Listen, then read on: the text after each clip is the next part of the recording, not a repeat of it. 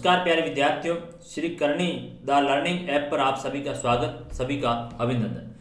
प्यारे बच्चों, हम बात कर रहे थे कक्षा ट्वेल्थ की, हमारे जो पॉलिटिकल साइंस, उसका जो यूनिट सेकंड है, उसकी बात कर रहे थे। किस तरीके से आपका भाग, अ, आपको विदित है कि हमारे जो भाग है, इसमें दो भाग दिए हुए एक भाग अ है और दूसरा भाग है व है।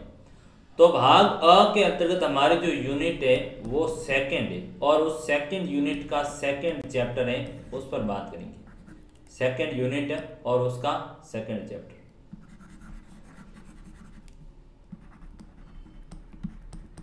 तो यूनिट है आपके सेकंड और चैप्टर भी है सेकंड क्या नाम है? पॉलिटिकल कल्चर यानी राजनीतिक संस्कृति है, वह हमारा दूसरा अध्याय। प्रथम अध्याय में हमने पढ़ा था कि किस तरीके से राजनीतिक समाजीकरण है, वो चलता है। किस तरीके से राजनीतिक समाजीकरण चलता है, हमने देखा था कि जिस तरीके से समाज के अंतर्गत है, वो एक बच्चा होता है, उसको किस तरीके से समाज की जो रीति रिवाज है, जो समाज की परंपरा है, उनके बारे में उसको ज्ञान करवाया जाता है।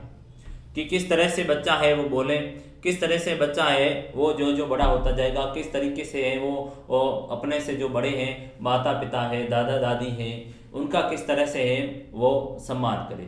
फिर बच्चा विद्यालय में जाकर है वहाँ पर सीखने का काम करता है।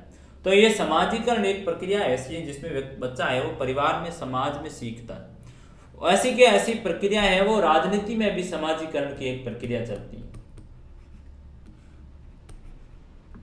राजनीति में भी समाजीकरण की एक प्रक्रिया चलती है। और जिसके तहत क्या होता है कि राजनीति के जो आचार व्यवहार है, जो राजनीति के सिद्धांत है, उनको बारे में है, वो एक बच्चों को सिखाने का काम किया जा रहा है, वो एक समाज को सिखाने का है, वो काम किया जा रहा है। तो जो हमारा प्रथम चैप्टर था, उसमें मैंने समझाया था कि राजनीतिक समाजीकरण, यानी राजनीति की शिक्षा है वो बुनियादी तौर पर दिए जाने वाले जो कारक हैं कि जिनके द्वारा दी जाती जैसे परिवार में एक बच्चे को राजनीति का ज्ञान प्राप्त होता है। परिवार में वह अक्सर सीखता है कि उसके पिताजी हैं या दादाजी अक्सर राजनीति के बारे में चर्चा करते रहते हैं कि हम तो उस बार हैं, उस व्यक्ति को या उस पार्टी को वोट देंगे तो ये क्या, वो राजनीति के बारे में उसको जागृति होती है। फिर ज्यो ज्यो बच्चा आगे बढ़ेगा, आगे जाएगा तो उसको है वो जानकारी कहाँ पर होती है? स्कूल के अंतर्गत होती है, विद्यालय में है वो जाता है विद्यालय में जाएगा तो फिर बच्चे को विद्यालय में है वो राजनीति के बारे में जानकारी प्राप्त होती है। वह बच्चा सीखता है, आप देखते हो, आपको अक्सर क्लास में मॉनिटर बनाया जाता है। तो हम देखते हैं कि अक्सर शुरुआत की क्लासों से है, वो बच्चे को सिखाया जाता है फ़र्स्ट है सेकंड है, उनमें भी बच्चे को मॉनिटर बनाया जाता है तो उस बच्चे में वह भावना डेवलप होती है। कौन सी नेतृत्व की, कि राजनीति में क्या होता है? नेतृत्व करना होता है। उसी तरीके से वो बच्चे में एक नेतृत्व की है, वो लीडरशिप की एक भावना है, वहाँ पर विकास होती है। तो विद्यालय दूसरा एक कारक होता है। फिर हम देखेंगे कि इसके अलावा अन्य उच्च संस्थाएँ आप कॉलेजों में जाओगे तो वहाँ पर भी है आप राजनीति में भाग लोगे, वो भी एक कारक है। विद्यालय में है, जैसे आप पॉलिटिकल साइंस पढ़ हो, कक्षा सिक्स क्लास से पॉलिटिकल साइंस है, वो सामाजिक में जोड़ दी गई। सिक्स क्लास में बच्चा पॉलिटिक के बारे में जानकारी प्राप्त करता है। सातवीं में है, वो आके करता है। आठवीं क्लास में है उसको राजनीति के बारे में जानकारी प्राप्त नौवीं क्लास में जो ही पढ़ता है समकालीन राजनीति पढ़ता है वो बच्चा। दसवीं में जाके पढ़ता है तो वो राजनीति के बारे में और ज्ञान प्राप्त करता है। जो ही बच्चा इलेवंथ क्लास में आता है तो सेपरेट पर्सनल है, वो राजनीति की पूरी पुस्तक पढ़ता है। जो ही ट्वेल्थ में जाएगा बच्चा तो राजनीति के बारे में किताब पढ़ने का काम करे। जो ही आगे कॉलेजेस में बच्चा जाता है, हायर एजुकेशन में जाता है तो एक पूरे विषय को पढ़ने का काम करे। तो ये विद्यालय है या उस शिक्षण संस्थान है जिनमें राजनीति होती है या फिर अन्य जो संस्थाएँ भी हैं वो भी बच्चे को अंतर्गत राजनीति को विकास करने का काम करता है कि राजनीति के जो आचार व्यवहार है, जो राजनीति के सिद्धांत है, उसको है, वह समझेगा, ताकि क्या है, देश की राजनीति में वह सहभागी हो सके, वह उसमें भाग ले सके, उसको है, वह राजनीति के बारे में जानकारी प्राप्त हो। तो ये तो था राजनीतिक समाजीकरण। एक दूसरा हमारा कॉन्सेप्ट है, वो राजनीतिक संस्कृति। जिस तरीके से संस्कृति, जो रीति रिवाज आप यदि संस्कृति को देखोगे तो हमारी जो संस्कृति, आप अक्सर हम लोग कहते हैं कि हमारी ये संस्कृति नहीं हमारी ये संस्कृति नहीं। आप लोग जब बोलते हैं असभ्य तरीके से या व्यवहार सही तरीके से नहीं करते तो हम लोग कहते हैं कि आपकी ये संस्कृति नहीं, आपको समझ नहीं है। आप में है वो मर्यादा का पालन नहीं कर रही हमारी संस्कृति नहीं। या आप हमारे अक्सर घर परिवार में बड़े, जो बड़े बुज़ुर्ग, वो बात करते हैं कि ये हमारे परिवार की संस्कृति नहीं। तो इसका मतलब यहाँ पर है, भी एक अन्य संस्कृति की बात की जा रही है। वो हमारे परिवार की संस्कृति है, हमारे समाज की संस्कृति है।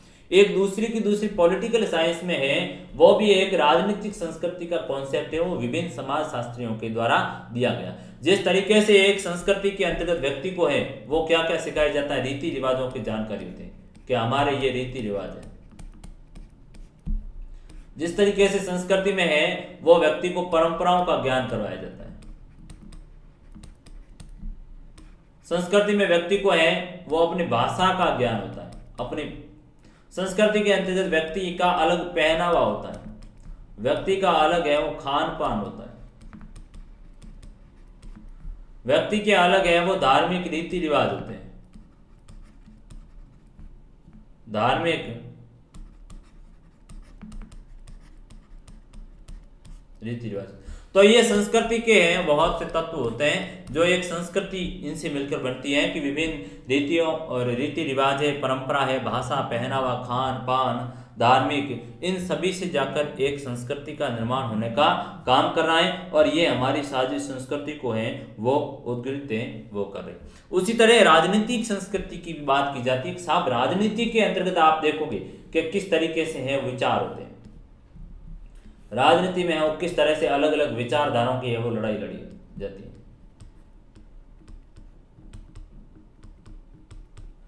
अलग अलग राजनीति के अंतर्गत किस तरीके से हैं, वो लोग भावनाओं के रूप में जुड़े हुए भावनात्मक। लोगों का विश्वास है वो राजनीति में किस तरीके से। क्योंकि संस्कृति में भी आपका क्या है, परंपराओं में भाषा खान पान धार्मिक रीति रिवाज इन सभी में विश्वास है। आप भावनात्मक रूप से जुड़े होते हो। आप सभी की अपने विचारधारा होती है। उसी तरह राजनीति में भी विचारधारा है, भावनात्मक है, विश्वास है, उसकी बुनियादी मूल्य उन सभी का ज्ञान करवाया जाता है, वो राजनीतिक संस्कृति के अंतर्गत करवाया जाता है, वो पॉलिटिकल कल्चर के अंतर्गत है, वो करवाया जाता है। व्यक्ति उसको है के द्वारा किस तरीके से है, वो राजनीति के बारे में ज्ञान प्राप्त करता है। तो राजनीतिक संस्कृति है, वो हमारी एक समाज शास्त्रीय अवधारणा है, एक सोशियोलॉजिकल कॉन्सेप्ट है।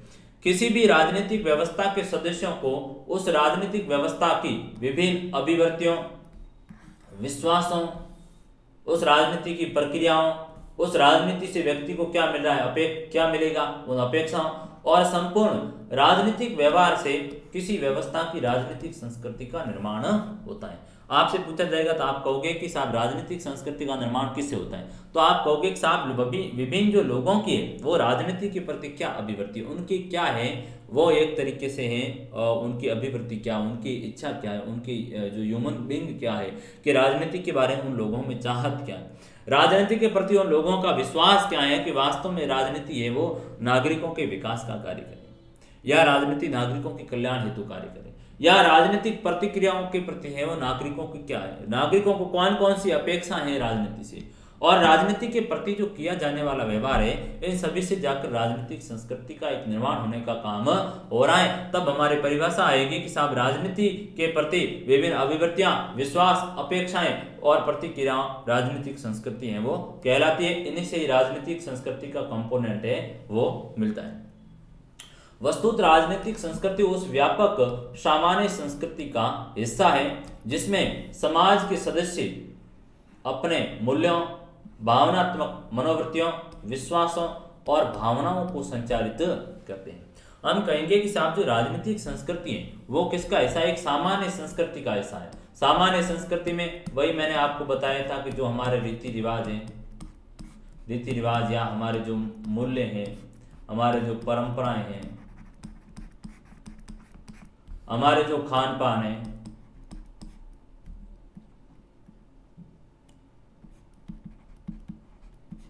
हमारे जो खान पान है, हमारे जो आचार विचार है आचार विचार है, पहनावा है, ये सारी क्या है? ये हमारी सामान्य संस्कृति है। तो राजनीति है, संस्कृति वो भी इस सामान्य संस्कृति का क्या है, इस व्यापक सामान्य संस्कृति का हिस्सा रही है, जिसमें समाज के सदस्य हैं वो अपने मूल्यों, भावनाओं, अपनी मनोवृत्तियों मेंटलिटी विश्वास पेश और भावनाओं को है, वो संचारित करते हैं, भावनाओं को द्वारा है, वो बातों को चलाने का और भावनाओं पर है विश्वास करते हुए राजनीति को जीने का काम करते हैं, राजनीतिक संस्कृति कहलाती है। इस प्रकार एक सामान्य जीवन पद्धति और दृष्टिकोण का विकास ही क्या होती है? सामान्य संस्कृति होती है, लेकिन राजनीति के प्रति। नागरिकों में मूल्य है, भावनात्मक मनोवृत्तियाँ हैं, विश्वास है, और भावना का जो जुड़ाव है, वह राजनीतिक संस्कृति कहलाती है। जैसे कि आप देखोगे, एक साहब अक्सर लोग कहते हैं, अक्सर अलग अलग लोग हैं, वो पार्टियों से जुड़ते हैं। कोई कहता है हम कांग्रेस पार्टी से हैं, कुछ कहते हैं साहब हम तो बीजेपी पार्टी से हैं, या फिर कुछ अन्य पार्टी से कहते हैं। तो वो इसलिए कि वो उन पार्टी की संस्कृति है। जैसे बीजेपी कह रही है कि हम आएँगे तो हमारी संस्कृति की रक्षा करेंगे, मूल्यों की रक्षा करेंगे, या जो इस तरह से है वो नागरिकों के कल्याण की बात करेंगे, वो वाली एक बात करें तो वो बीजेपी के अपने एक मूल्य अपने हैं, वो भावनात्मक मनोवृत्तियाँ लोगों को हैं उस पार्टी के प्रति जो विश्वास है, जो उत्पन्न हुआ है, वो लोग अक्सर कहेंगे कि साहब, ये पार्टी हमारे लिए अच्छी है, हमें इनको है वो विश्वास है। भावनात्मक जुड़ाव तो वो राजनीतिक संस्कृति है वह कहलाई जाएगी कि किसी भी राजनीतिक सत्ता के प्रति है मूल्य, भावनात्मक मनोवृत्तियाँ, विश्वास और भावनाओं का संचार करना राजनीतिक संस्कृति है, वो कह लाती है। राजनीतिक संस्कृति उस सामान्य संस्कृति के राजनीति शासकीय दृष्टिकोण से संबंधित है। चूँकि हम देखेंगे कि राजनीतिक व्यवस्था मनुष्य की राजनीतिक व्यवहार का क्या रही है, परिणाम रही है, और ये राजनीतिक व्यवहार है वो गतिशील हो रहा। तदा अनुसार राजनीतिक संस्कृति भी स्तर न होकर के गतिशील रही। इन्होंने कहा कि साहब, जो राजनीतिक, आप, जो संस्कृति को देखोगे, वो क्या है कि मनुष्य के द्वारा राजनीतिक व्यवस्था का में किस तरह से व्यवहार किया जा रहा है? एक व्यक्ति राजनीति में जाकर किस तरह से है, वो काम कर रहा है। एक व्यक्ति राजनीति में जाकर है, वो लोगों के साथ है, वो किस तरह से है, वो जुड़ाव का काम कर रहा है, किस तरीके से है वह लोगों के लोगों के प्रति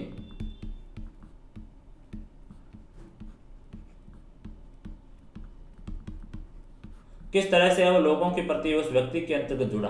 किस तरीके से है वो जनता के मूल्यों की रक्षा का काम करता है? जनता के मूल्यों की रक्षा करता है। किस तरीके से है वो संविधान जैसे मूल्यों के बारे में है वो बात करता है? संविधान के मूल्यों की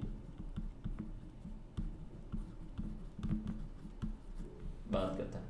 तो ये क्या, ये एक राजनीतिक संस्कृति है, एक पॉलिटिकल कल्चर है कि साहब लोगों के प्रति किस तरह का जुड़ाव है, लोगों के प्रति किस तरह का है, वो आप जनता के रक्षा के लिए किस तरह से है, वो काम कर रहे हैं, और संविधान के जो मूल्य है, उनके मुताबिक आप काम किस तरह से कर रहे हैं तो वो राजनीतिक संस्कृति यानी आप देखोगे कि ये जो चीज़ें हैं, उसमें क्या हो रहा है, निरंतर बदलाव हो रहा है, निरंतर है वो गतिशीलता है।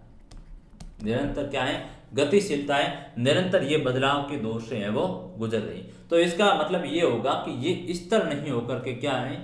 ये निरंतर है, वो गतिमान है। निरंतर रूप से है, व्यवहार परिवर्तन हो रहा है। तो जो जो व्यवहार परिवर्तन हो जा रहा है जो जो है वो नए नए मूल्यों का समावेश हो रहा है। इसलिए जो राजनीतिक कल्चर है, वो क्या है? एक गतिशील है और व्यक्ति के द्वारा किए जाने वाला गतिशील व्यवहार है, वही राजनीतिक संस्कृति है। आप देखोगे किस तरह से हम लोग अक्सर कहते हैं, राजनीति में लोग, नेता लोग कहते हैं, हमारी ये राजनीतिक परंपरा नहीं है कि साहब है, वो विरोधी सरकारों को है, वो जो शासन में, जैसे बीजेपी के अंदर में बैठी मज़बूत है, और वह राज्यों की सरकारों को गिरा रहे राज्य में सरकारें कौन सी कांग्रेस की या अन्य पार्टियों की तो गिराने का काम करें। तो नेता लोग अक्सर कहते हैं कि यह हमारी राजनीतिक परंपरा नहीं है हमारी राजनीतिक संस्कृति नहीं है कि जो मज़बूत है या जो सशक्त सत्ता में बैठा है, वो कमजोरों को है, वो सत्ता से बेदखल करने का काम करे। तो इसका मतलब ये है कि इसका मतलब ये हुआ कि साहब, ये हमारे जो हमारा रिवाज नहीं है, हमारी परंपरा नहीं है, हमारा व्यवहार है वो ऐसा नहीं रहा है कि साहब जो शक्तिशाली उठ करके कमज़ोर को दबाने का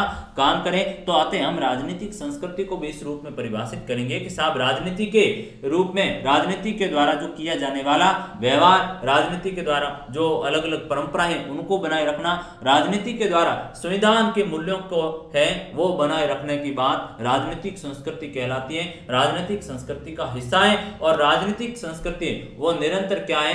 गतिशील है, निरंतर उसमें बदलाव आ रहा है। आज के मूल्य आप देखोगे किस तरीके से हैं। वो हमारा जो देश आज़ाद हुआ था 1950 के दशक में है, वो किस तरह से है, वो मूल्य थे पॉलिटिकल और आज के मूल्य हैं, वो कितने वैल्यूएशन गिरे हैं, राजनीतिक संस्कृति कितनी गिरी। 1950 की और 2020 की राजनीतिक संस्कृति को आप देखोगे तो भारी बदलाव। 1950 की जो राजनीतिक संस्कृति थी, उस समय है, वो आप देखोगे कि जो शासक वर्ग है, वो बहुत ही नम्र और उदार लोग थे। आप देखोगे जवाहरलाल नेहरू जैसे व्यक्तित्व या लाल बहादुर शास्त्री जैसे व्यक्तित्व हैं, बहुत ही उदार और उच्च कोटे के नैतिक लोग थे, जिनका जुड़ा जुड़ाव जनता से प्रत्यक्ष रूप से था। उन लोगों ने है, वो कभी भी संविधान का है, वो उल्लंघन करने का काम नहीं किया। कभी भी है, वो समाज को बांटने का काम नहीं किया। कभी भी है, वो धर्म के आधार पर है, वो कोई भेदभाव नहीं किया। कभी भी है वो उच्च नीच के आधार पर कोई भेदभाव नहीं किया। उच्च और निम्न के आधार पर कोई भेदभाव नहीं किया। किस तरह से उन्होंने जाति ताकत या धर्म के आधार पर कोई भेदभाव नहीं किया। तो उस समय की जो राजनीति थी, उस समय की जो राजनीतिक संस्कृति थी, वो कई गुना आज की राजनीतिक संस्कृति से भिन्न है। आज आप देख लो राजनीतिक संस्कृति की। आज की जो राजनीतिक संस्कृति है, वो आप देखोगे किस तरह की संकीर्ण राजनीतिक संस्कृति है। आप देखोगे एक समाज में है, वो अक्सर दंगो, फसाद की स्थिति रहती है। आप देखोगे कि निरंतर युद्ध और उन्माद की स्थिति है, वो आज की राजनीति में रहती है। आज के नेताओं को है, वो सब सबसे बड़ी बात है कि आज के राजनेताओं को बोलना तक नहीं आता। उन लोगों को क्या बोलना चाहिए, क्या नहीं बोलना चाहिए, यानी बोलने तक की उन लोगों में सभ्यता नहीं है। तो वो क्या है? हमारी संस्कृति का जो हिस्सा है, जब कोई व्यक्ति बोलता है गलत तरीके से तो हम कहते हैं कि ये संस्कृति नाम की कोई चीज़ नहीं, कोई सभ्यता नाम की चीज़ नहीं, आपको बोलना नहीं आता। तो ये राजनीति की भी संस्कृति और सभ्यता इतनी खराब हो चुकी है कि सही तरीके से नेताओं को है, वो बोलना तक नहीं आ रहा, लोगों को क्या कहना क्या नहीं कहना, किस स्थिति तो ये इतनी स्थिति हो चुकी। वे अक्सर धर्म के नाम पर है, वो लड़वाने का ठेका लेकर बैठे हैं कि साहब, धर्म का ठेका है, वो हमारे पास में, ये धर्म अच्छा है, ये धर्म बुरा है, इस धर्म को जैसे इन लोगों ने उत्पन्न किया। तो ये एक राजनीति के इतने मूल्य हैं, वो गिरने का काम किया। जातिता का भेदभाव हावी। जगह जब बार बार है, वो ऊंच और नीच के आधार पर भेदभाव किया जा रहा मंदिर, मस्जिदों के नाम पर लड़ाइयाँ की जाए तो ये जो सांस्कृतिक मूल्य गिरे इसके लिए है वो नई, जो पॉलिटिकल साइंस में विषय पढ़ाया जाने लगा, एक बिंदु पढ़ाया जाने लगा टॉपिक पढ़ाया जाने लगा कि भाई राजनीतिक संस्कृति के भी हैं, वो पढ़ाई जाए ताकि लोगों में राजनीति की प्रति जो परंपरा है जो अच्छाइयाँ हैं, उनका है वो विकास होने का काम करे तो ये एक बड़ी बात निकल कर आई साहब जो 50 के दशक के मूल्य और आज के 2020 के दशक के मूल्यों में, पॉलिटिकल के मूल्यों में, पॉलिटिकल कल्चर के मूल्यों में है, बहुत ही ज़्यादा मतभेद है, बहुत ही ज़्यादा बदलाव है। तो इस बदलते हुए सिनेरियो को देखना हमें बहुत ही, इस सिनेरियो को है, वो समझना अंडरस्टैंडिंग करनी बहुत ही मेजर इश्यू है कि आप किस तरीके से इस वातावरण को है वो बदलते हुए परिवेश को समझने का काम कर रहे हो वास्तव में जो राजनीतिक संस्कृति है, वो किस तरीके से है, वह आगे निरंतर रूप से बढ़ने का काम कर रही। वह राजनीतिक संस्कृति जो उच्च कोटि की थी, वह किस तरीके से निम्न में बदल रही। उच्च कोटि लोगों से जुड़ाव था। गाँव गरीब लोगों को है, वो उस समय विकास के काम किए करते। लोगों से प्रत्यक्ष रूप से नेता है, वो जुड़ते थे। वहाँ कोई भी व्यक्ति चला गया, उनका काम करवाने का काम कर। आज उनसे बिन कोई गए, उनसे मिलते भी नहीं है। बड़े ऐसो आराम का जीवन जीने का काम कर तो ये उस संस्कृति को वो समझने का है, काम करेगा। संस्कृति का अर्थ व परिभाषा। Meaning and definition of political culture राजनीतिक संस्कृति को है, वो आमंड करके एक समाज शास्त्री हुए थे, विद्वान हुए थे। उन्होंने कहा कि कार्य के प्रति अभिमुखीकरण क्या है? कार्य के प्रति है वो अभिमुखीकरण। क्या कहलाएगी आपकी? राजनीतिक संस्कृति कहलाएगी। कैसे कार्य? राजनीतिक कार्य। कार्य के प्रति अभिमुखीकरण है, वो क्या कहलाएगा? राजनीतिक संस्कृति। अभिमुखीकरण का मतलब हुआ। मैंने कहा कि हम अभिमुख हुए। हम अभिमुख हुए का मतलब हुआ कि हमारा झुकाव है वो कैसा है? या हमारी प्रवृत्ति है वो कैसी जैसे एक वाक्य बोला, मैंने कहा कि हमारा झुकाव है वो आज आधुनिकरण की ओर हुआ। आज हम हैं वो पश्चात्य चीज़ों की ओर देखते हैं। आज हम लोगों की मानसिकता है, वो बड़ी खराब हो गई है कि हम वस्त्र भी हैं, वो आध आधे, अधूरे या फटे वस्त्र पहनने का काम कर तो वो क्या है? वो हमारी प्रवृत्ति, हमारा झुकाव है, वो किसकी तरफ़ बढ़ा? पाश्चात्य संस्कृति की तरफ़ बढ़ा। पाश्चात्य संस्कृति की तरफ़ बढ़ा। मैं ये नहीं कह रहा हूँ कि ये बुरी चीज़ है। लेकिन मैं ये समझाने का काम कर रहा हूँ कि कार्य के प्रति अभिमुखीकरण होना, यानी परंपराओं के प्रति अभिमुखीकरण होना है, वो राजनीतिक संस्कृति कहलाती है। ऐसा किसने कहा? ऐसा आमन ने कहा कि साहब, राजनीति के प्रति लोगों का जो झुकाव है, राजनीति के प्रति जो लोगों की प्रवृत्ति है, वो क्या कहलाई जाएगी? आपकी राजनीति है वो संस्कृति कहलाएगी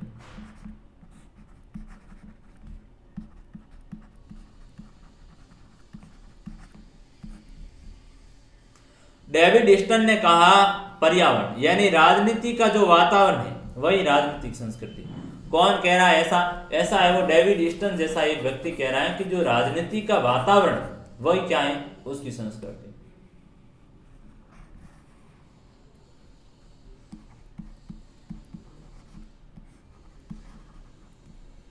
राजनीतिक वातावरण या राजनीतिक पर्यावरण।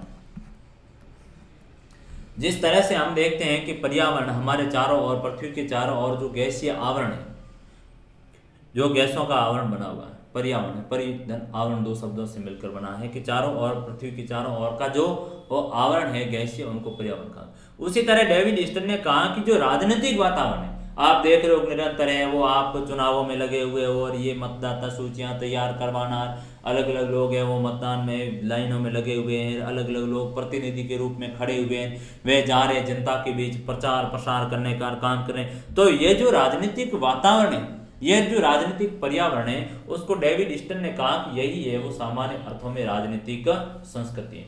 तो तीसरी है, वो एक व्यक्ति आया जिसने कहा, जो स्प्रो करके उन्होंने कहा कि राजनीतिक शैली वह क्या है? राजनीतिक संस्कृति। सामान्य अर्थ के अंतर्गत तो राजनीतिक संस्कृति का अर्थ हुआ। राजनीति के प्रति लोगों का झुकाव, राजनीति के प्रति लोगों का अभिमुखीकरण, राजनीति के प्रति है वो लोगों की प्रवृत्ति कैसी है, राजनीति के प्रति जो लोग किस तरह से हैं, वो प्रेरित हुए हैं, वह राजनीतिक अभिमुखीकरण, राजनीतिक संस्कृति को बताने का काम कर रहे हैं। फिर डेविड ईस्टन का है, वो राजनीतिक वातावरण है, राजनीतिक पर्यावरण है, वही राजनीतिक संस्कृति है। फिर जो ये स्प्रोक की जो बात है कि राजनीतिक शैली है, वह क्या है? राजनीतिक संस्कृति। तो हम देखेंगे कि राजनीतिक संस्कृति को विकासशील देशों के संदर्भ में सर्वप्रथम अवधारणा के रूप में प्रतिपादित करने वाले आमंड और पावेल ने एक व्यापक परिभाषा है, वो राजनीति की प्रस्तुत करने का काम किया। आमंड और पावेल ने कहा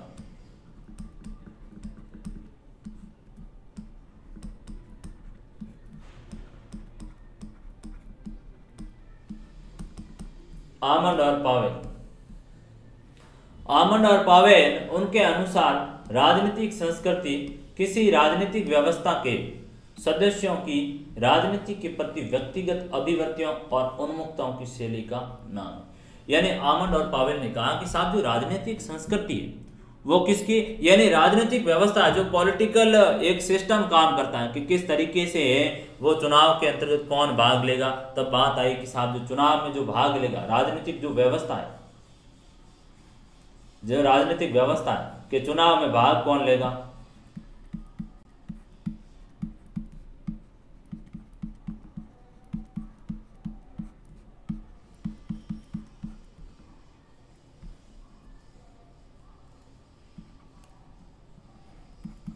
यानी कौन पार्टिसिपेट करेंगे इलेक्शन के अंतर्गत? चुनाव में भाग है, वो कौन लोग लेंगे?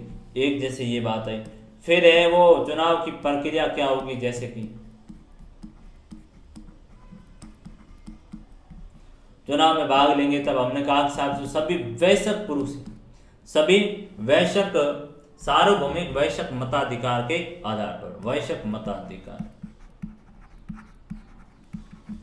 वैश्यक मताधिकार के आधार पर लोग हैं, वो चुनावों में भाग लेते हैं। चुनाव की प्रक्रिया की हम बात करेंगे कि उसका क्या प्रोसेस है, प्रत्यक्ष रूप से होगी या अप्रत्यक्ष रूप से होगी, कौन सी प्रक्रिया होगी, एक संक्रमण होगी या कौन सी होगी तो वो चुनाव की प्रक्रिया। फिर है, वो किस तरह से प्रतिनिधि बन सकते हैं? किस तरीके से हैं? वो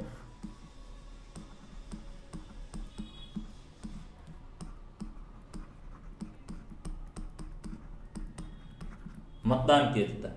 तो ये जो सारी चीज़ें होती है, जो सारी की व्यवस्था होती है, वो राजनीतिक व्यवस्था है वो कहलाती है।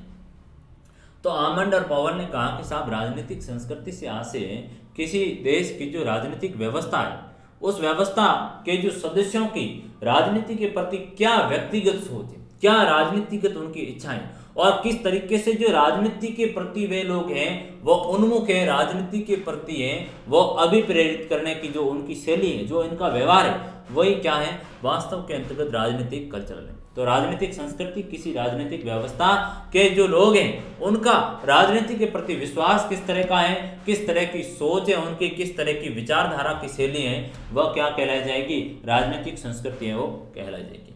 एक अन्य व्यक्ति हुए एलन बॉल। एलन मस्क नहीं है एलन बॉल है।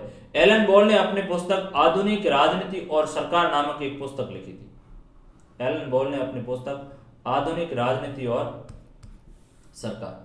आधुनिक राजनीति और सरकार में एलन बोल ने परिभाषित करते हुए किसको? राजनीतिक संस्कृति को परिभाषित करते हुए कहा कि राजनीतिक संस्कृति का निर्माण समाज की उन अभिवृत्तियों समाज के उन विश्वासों और समाज के उन मूल्यों से होता है, जिनका राजनीतिक व्यवस्था और राजनीतिक विषयों के साथ क्या होता है? संबंध होता है। यानी एलन बॉल, आधुनिक राजनीति और सरकारों की पुस्तक है। आपसे एक नंबर में ये सवाल है, वो पूछे जाने की गुंजाइश रहती है, इसके लिए आप अच्छे तरीके से तैयार हैं। उन्होंने कहा कि राजनीतिक संस्कृति का जो यदि निर्माण तो राजनीति के, समाज के प्रति है वो लोगों की क्या अभिवृत्तियाँ, उनकी जो इच्छाएँ क्या? लोगों की है, वो यूम उनकी जो आप देखोगे किस तरह की है, वो सोच रखने का काम करे। लोगों का उस राजनीतिक व्यवस्था के प्रति है, वो विश्वास किस तरह का?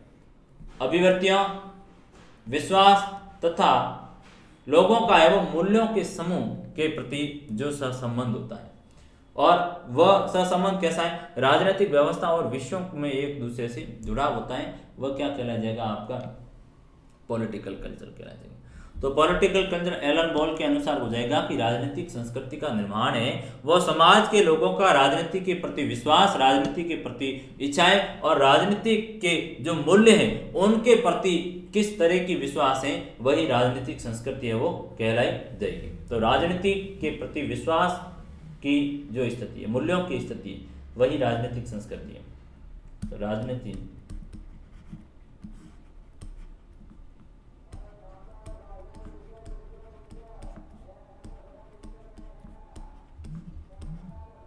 राजनीतिक व्यवस्था के प्रति लोगों के जुड़ाव राजनीतिक व्यवस्था के प्रति लोगों का जुड़ाव विश्वास मूल्य वृद्धि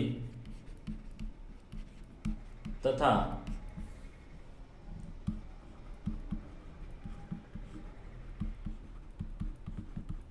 अभिलाषाएँ। राजनीतिक संस्कृति।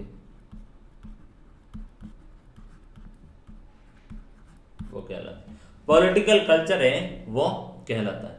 तो ये एक सामान्य सी है वो बात राजनीतिक संस्कृति की। एक अन्य परिभाषा है आप आमंड और पावेल की है, वो परिभाषा ध्यान रखना, बाकी इसमें कुछ भी नहीं। सामान्य आप परिभाषा ये ध्यान रखोगे कि साहब राजनीति के प्रति जो लोगों का विश्वास है, राजनीति की परंपराओं के प्रति है, वो लोगों का विश्वास है, राजनीति के प्रति लोगों की इच्छा है और राजनीतिक मूल्य है, जिनको राजनीतिक संस्कृति है, वो कहा जाता है। लुसियन पाई ने कहा कि राजनीतिक संस्कृति का संबंध अभिवर्तियों, विश्वासों एवं भावनाओं के समूह से है, जो राजनीतिक प्रक्रिया को व्यापकता और सार्थकता प्रदान करते हैं। और ऐसे अंतर्निहित विचार एवं नियम प्रदान करते हैं, जो राजनीतिक व्यवस्था में व्यवहार को नियंत्रित किया जाए। लुसियन पाई की भी बात है, वो लगभग सेम ही है जो समान बात कर रहा है कि जो राजनीतिक संस्कृति का संबंध ये हुआ कि राजनीति की जो अभिवृत्तियाँ राजनीति के प्रति जो विश्वास है और राजनीति के प्रति लोगों में जो भावना है, वह व्यापक दायरे तक वह कैसे हो? वह व्यापक दायरे तक हो, विशाल दायरे तक हो, यानी सभी लोगों के अंतर्गत राजनीति के प्रति है, वो उनकी क्या हो? अच्छे विश्वास हो, अच्छे मूल्य हो।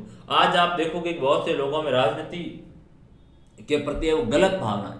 अक्सर लोग कहते हैं कि राजनीति करना है वो मूर्खों का काम किन का काम है? मूर्खों का काम है। या राजनीति को कहते हैं वह ध्रुत है ध्रुतों का काम है, पाखंडियों का काम है, लड़ाकुओं का काम है, शांति प्रिय, ईमानदार व्यक्ति राजनीति नहीं कर सकता। तो ऐसी एक छवि बनी हुई है समाज में।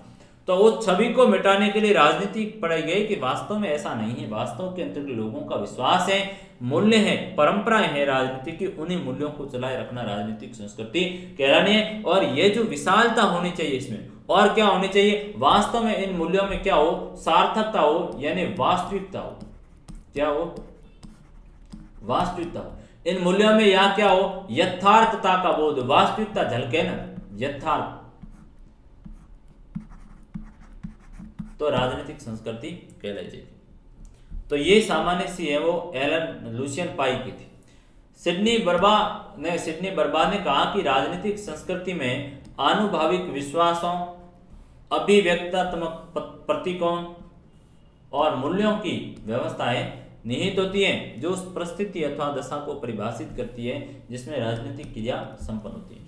तो ये जो सिडनी बर्बा का कहना है कि राजनीतिक संस्कृति में अनुभविक यानी अनुभविक के आधार पर विश्वास होते हैं। अनुभव की कसौटी के ऊपर है, वो कसे हुए लोग उसमें जो बता रहे हैं, जो लोग कह रहे हैं कि साहब ये नेहरू की परंपरा थी या गांधी की परंपरा थी, या आप कहोगे कि ये अटल जी जो परंपरा थी तो उनके जो अनुभविक विश्वास थे उन लोगों ने, उनको है वो राजनीतिक संस्कृति में समाहित किया कि वास्तव में हमारी है वो राजनीति की ये संस्कृति है कि वह समानता लाएगी।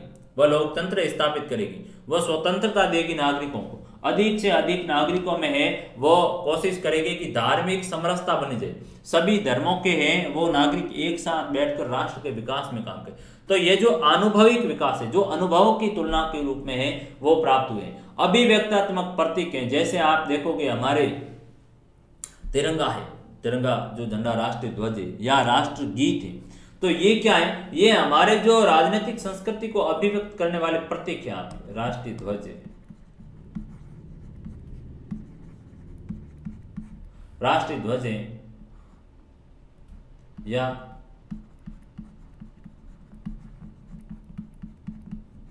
राष्ट्रगान है। ठीक है, राष्ट्रगीत है। यह वास्तव में क्या करें? यह वास्तव में प्रतीक चिन्ह है जो अभिव्यक्त करने का काम कर रहे हैं राजनीति को। तो ये भी क्या है? राजनीतिक संस्कृति का अंग है। और मूल्य है। ये हमारी परंपरा है। तो ये भी कौन सी राजनीतिक संस्कृति का ऐसा है जो देश काल की परिस्थितियों में वो संपन्न होती है। तो इस प्रकार ये स्पष्ट हो जाता है कि राजनीतिक संस्कृति है वो राजनीतिक व्यवस्था के प्रति सदस्यों की मनोवृत्तियों की अभिव्यक्ति प्रकृति क्रियाएँ और अपेक्षाएँ। तो वास्तव में इसे एक सारांश रूप में बात निकल कर आई साथ जो राजनीतिक संस्कृति है, वो व्यवस्था के प्रति लोगों की है, वो मनोवृत्ति में विकास करना, मनोवृत्ति को अभिव्यक्त करना, वास्तविक धरातल के ऊपर प्रस्तुत करने का काम करना, विभिन्न प्रतिक्रिया और लोगों की राजनीति के प्रति जो अपेक्षाएँ वो क्या है? राजनीतिक संस्कृति है। तो ये राजनीतिक संस्कृति आपकी पूरी हुई। क्या है इसको आप थोड़ा सा सामान्य शब्दों में आप देखोगे कि राजनीतिक संस्कृति का मतलब ये हुआ कि राजनीतिक की विभिन्न परंपराओं है, रीति रिवाजों को, प्रतीक चिन्हों, मूल्यों को बनाए रखना राजनीतिक संस्कृति राजनीति की जो विभिन्न, हमने कहा ये परंपरा है, हमारी प्रकृति है। अटल बिहारी वाजपेयी एक पंक्ति कहा करते ये हमारी परंपरा नहीं है, हमारी प्रकृति नहीं है, सत्ता का खेल तो चलता रहेगा। सरकारें आएगी, जाएगी, बनेगी, बिगड़ेगी। ये देश रहना चाहिए, इस देश का लोकतंत्र रहना चाहिए। तो वो क्या है? वो अटल बिहारी वाजपेयी के अनुभवों की तरज पर प्राप्त हुआ क्या है? संस्कृति। आज भी लोग हैं, वो अक्सर बात करते कि अटल जी की जमहूरियत की बात किया करते थे। जमहूरियत की बात करते थे। आज कश्मीर में जब जब है, वो दंगे, फसाद, लड़ाई की स्थिति होती है तो वहाँ के नागरिक कहते हैं के साथ समकालीन सत्ता ने हमारे साथ गलत किया, लेकिन इसी सत्ता, इसी बीजेपी के बड़े कदावर नेता अटल बिहारी वाजपेयी थे, जो जमहूरियत की बात करते थे, जो जनता के मानवीय कल्याण की बात किया करते थे। वह व्यक्ति नहीं रहा। तो वो क्या थी? वो एक राजनीतिक संस्कृति थी। तो राजनीतिक संस्कृति का मतलब ये हुआ, आप देखोगे कि विभिन्न जो राजनीतिक परंपरा है, रीति रिवाज है, राजनीति की प्रक्रिया में शामिल होना, आदि के प्रति नागरिकों में जो विश्वास, जो मूल्य की भावना है, वो राजनीतिक संस्कृति कहलाती है। और राजनीतिक संस्कृति के हैं, वो आप देखोगे अलग अलग घटक हैं, जो काम करते हैं, उन्हीं से ही राजनीति को अलग है, वो दिशा मिलती है। यानी कंपोनेंट वे कारक है जिनसे मिलकर दे वो राजनीतिक संस्कृति बनने का काम कर रहे हैं। राजनीतिक संस्कृति की यदि घटकों की बात की जाए तो दो घटक हैं। एक तो है अभिमुखीकरण और दूसरा है राजनीतिक विषय। अभिमुखीकरण का सामान्य सा जो अर्थ था, वो मैंने बताया था झुका क्या है? झुकाव या नागरिकों की प्रवृत्ति उनका झुकाव किस तरह से है? उस व्यवस्था के प्रति है उनकी प्रवृत्ति किस तरह की है? उनके आदतन क्या इच्छा शक्तियाँ हैं? तो वो अभिमुखीकरण कहलाता और दूसरा है, वो राजनीतिक विषय के जो घटक, राजनीतिक विषय के कौन कौन से तत्व हैं, वो भी एक कंपोनेंट के रूप में काम कर रहे हैं। राजनीतिक के घटक के रूप में है वो काम कर रहे हैं। तो इसके राजनीतिक घटकों को आप कहोगे, आपसे पूछा जाता है सवाल ये चार अंक में तो आप कहोगे कि साहब, राजनीति के घटक को दो भागों में विभाजित किया गया है। एक तो है कि जो राजनीतिक संस्कृति में अभिमुखीकरण और दूसरा है राजनीतिक विषय। ये हमारी राजनीतिक संस्कृति के दो है, वो घटक है।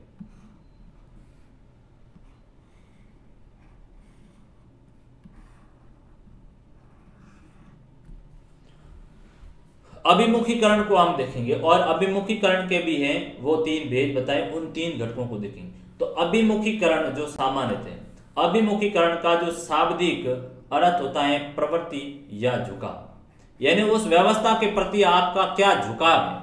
आपकी इच्छा शक्ति क्या है? आप कहोगे कि साहब, जो सत्ता है, जो सरकार चल रही है, उसमें हमारा विश्वास है, हमारा झुकाव है कि वह सरकार अच्छी है, जनता के कल्याण हेतु कार्य कर रही है।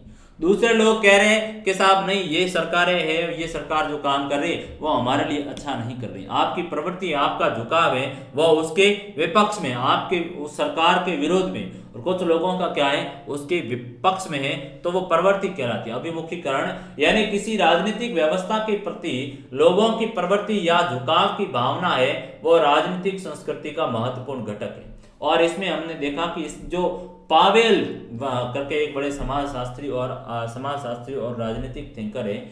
उन्होंने अभिमुखीकरण के तीन घटक, तीन अंगों को है, वो बताने का काम किया। कंपोनेंट्स को बताने का काम किया।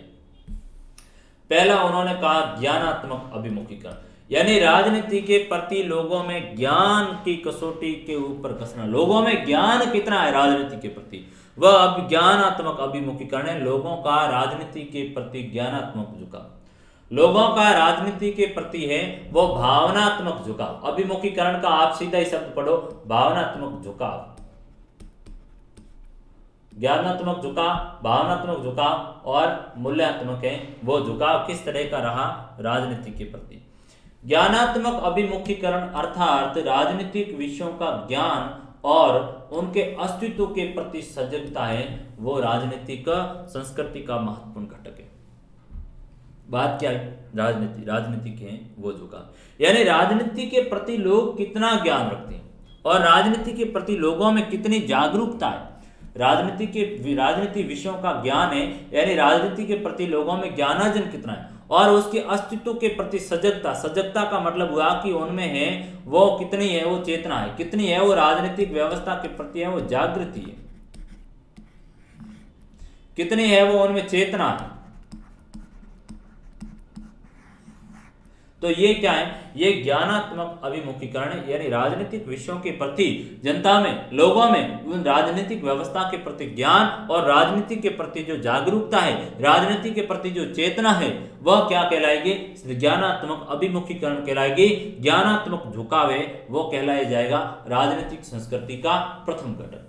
दूसरा घटक कह रहा है भावनात्मक घटक। क्या नाम है इसका? भावनात्मक है वो किस तरीके से इमोशनली बॉन्ड किस तरीके से जुड़ा हुआ है? आप है वो राजनीति के प्रति किस नज़रिए से है वो देख रहे हैं? भावनात्मक झुकाव।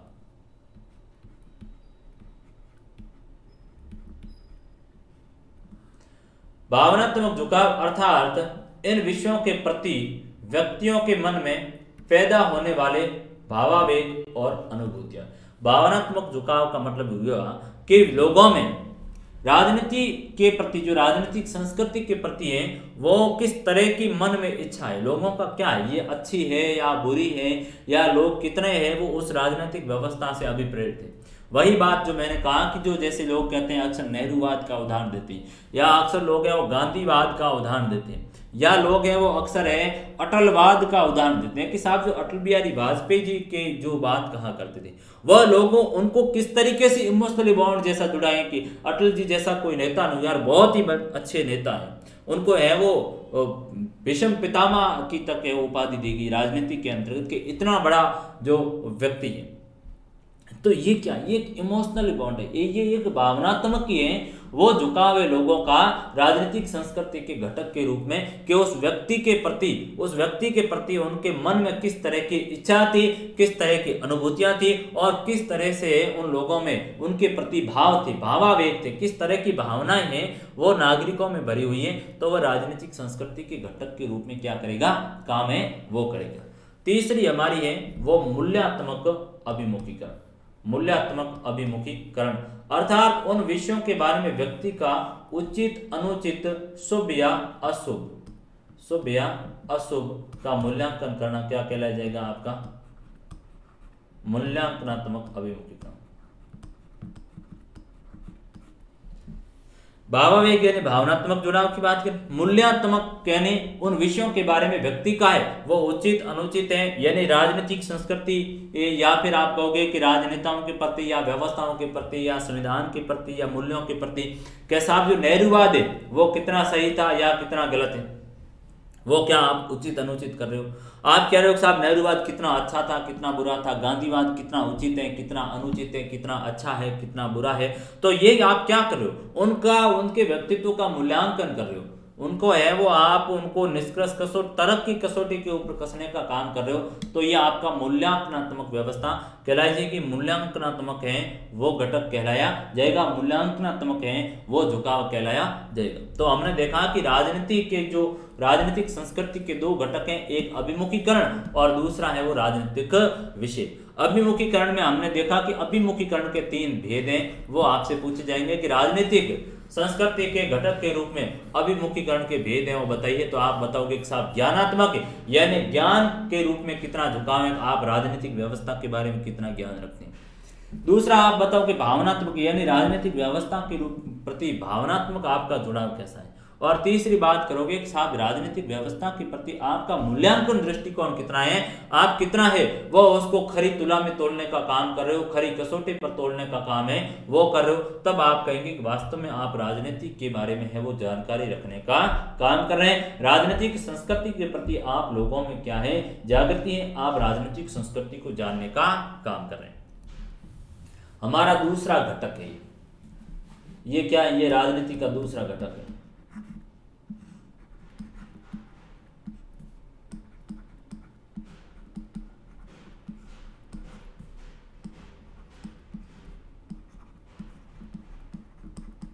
राजनीतिक संस्कृति का दूसरा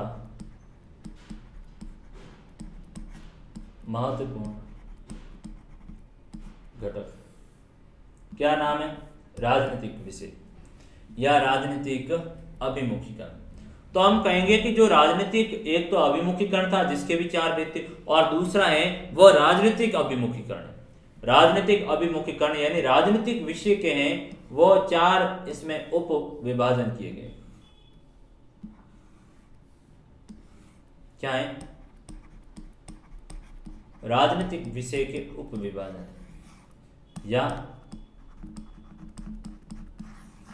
उपभाग करने का काम। जैसे एक शब्द आया कि जो राजनीतिक अभिमुखीकरण जो राजनीतिक झुकाव वो किसके प्रति है? क्या राजनीतिक व्यवस्था के प्रति है? क्या राजनीति की संरचना के प्रति है? क्या राजनीति की जो समस्या और जो नीतियाँ हैं सरकारों की, उनके प्रति है? क्या एक राजनीतिक कर्ता के रूप में?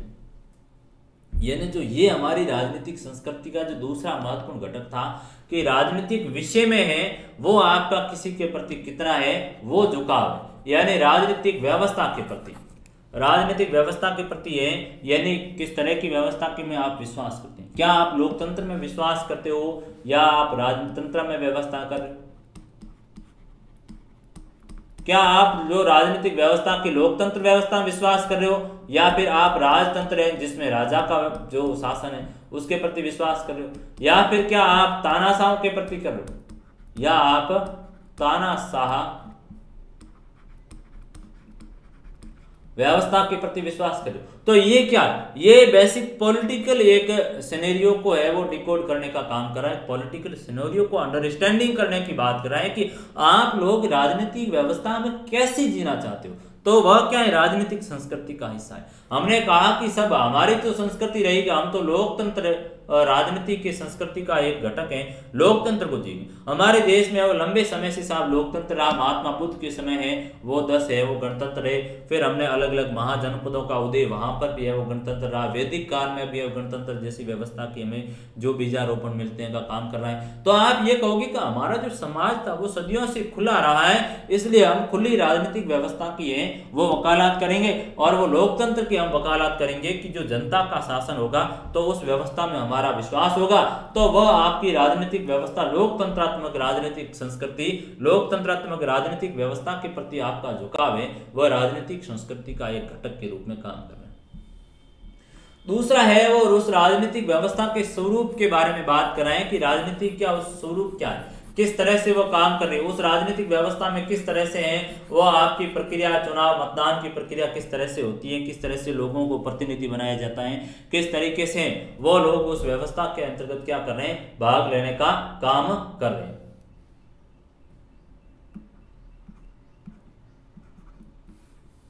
तो संरचना तीसरी बात आई, राजनीति की जो समस्या है ऐसी जो राजनीति की कौन कौन सी समस्याएँ हैं और जो नीतियाँ हैं, जिनके बारे में हम जानते हैं क्योंकि राजनीतिक संस्कृति में लोगों को जानने के लिए सारी चीज़ करनी एक संस्कृति को लोग कैसे जानते हैं, उसको जीते हैं लोग।